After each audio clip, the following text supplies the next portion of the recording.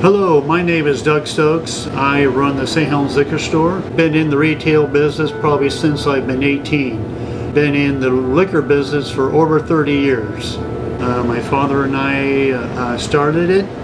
Then when he passed away, it became mine and I've been doing it ever since. We had the uh, only liquor store in a hardware store where it began in Scappoose. So we've had that since 1971. This business has given me the opportunity to travel and to see many places. One of my favorite places is Japan.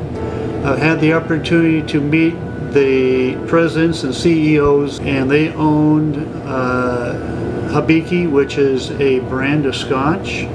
They have other Japanese whiskeys that have done very well in this country. I've had some interesting experiences throughout the years. Had one lady who forgot to put her uh, her car in park, and the car backed up into the store, and it, it literally uh, came in the store. That was an interesting uh, situation. We have liquor tastings on most Fridays.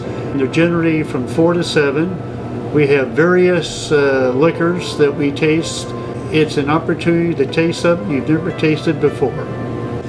What's your favorite brand? If we don't have it, let us know. We can certainly try to get it for you.